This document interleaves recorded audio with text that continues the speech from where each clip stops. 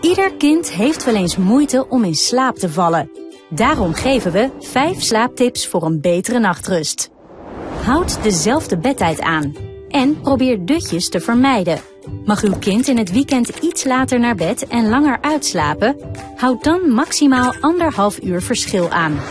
Zorg voor een vast avondritueel. Zorg voor zo min mogelijk prikkels en doe anderhalf uur voor bedtijd alle schermen uit. Eet en drink samen regelmatig en gezond.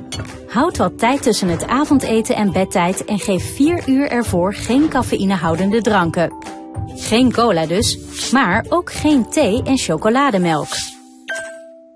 Zorg voor een fijne slaapkamer. Zet een raampje open en houd de temperatuur tussen de 16 en 18 graden. Maak het zo donker mogelijk. Zorg voor voldoende beweging overdag. Uw kind voelt zich hierdoor beter en slaapt makkelijker en dieper. Voor meer informatie over slaapproblemen bij kinderen, ga naar de website.